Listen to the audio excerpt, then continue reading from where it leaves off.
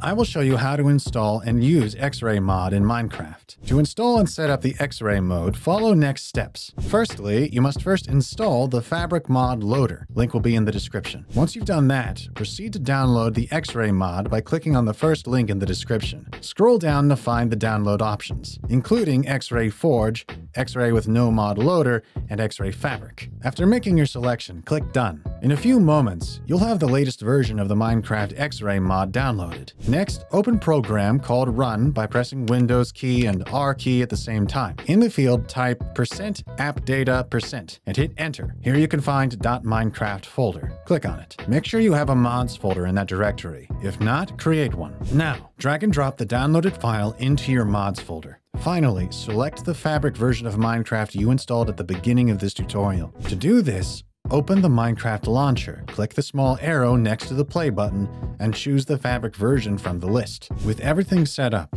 launch Minecraft and check if the X-Ray mod is working in-game. To activate this mod, simply press X key and then J to access the in-game user interface. Here, you can customize settings, such as making a block invisible, which is unchecked by default. I hope this video was helpful.